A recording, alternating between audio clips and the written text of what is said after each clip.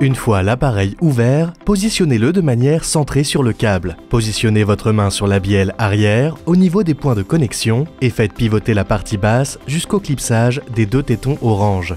Enclenchez le doigt d'indexage frein de parking et vérifiez visuellement le bon verrouillage des quatre tétons orange.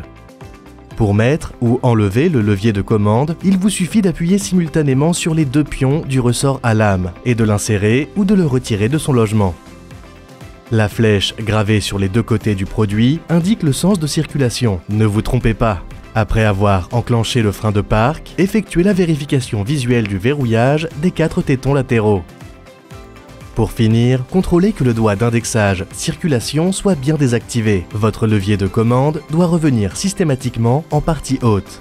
Avant la suspension, il vous faudra choisir le bon point de connexion en fonction de la pente indiquée sur le clinomètre.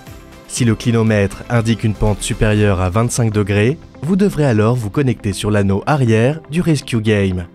Si la pente indiquée est inférieure à 25 degrés, vous devrez vous connecter alors sur l'anneau avant.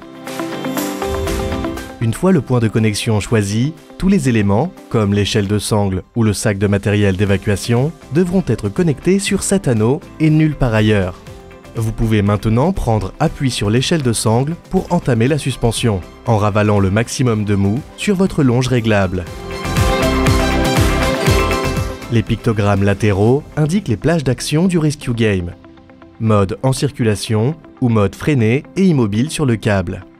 Vous pouvez maintenant déverrouiller votre frein de parking et commencer votre déplacement par gravité en toute sécurité.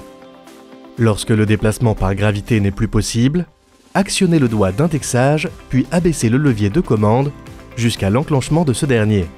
La mâchoire frein caoutchouc est alors désolidarisée du câble. Le déplacement peut être réalisé à l'aide de matériel électroportatif, type visseuse ou des poignées escamotables. Dans certains cas, il est possible de connecter un évacuateur de type Evergame directement sur le point prévu identifié. Cet évacuateur fonctionne en va-et-vient et permet une descente autorégulée des personnes évacuées.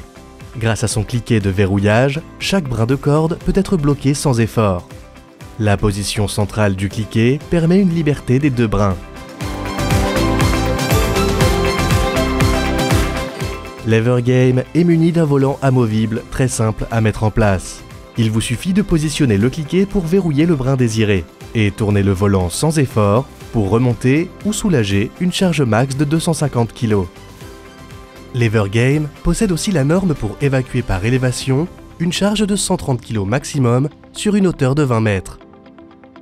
Le cliquet a pour fonction de bloquer automatiquement le brin désiré, sans aucune autre manipulation et sans risque d'erreur.